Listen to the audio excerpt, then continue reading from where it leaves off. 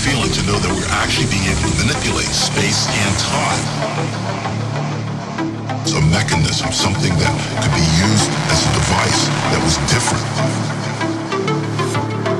And I found that light could be used to control gravity. And since gravity controls time, then that meant that I could use light to control time. time.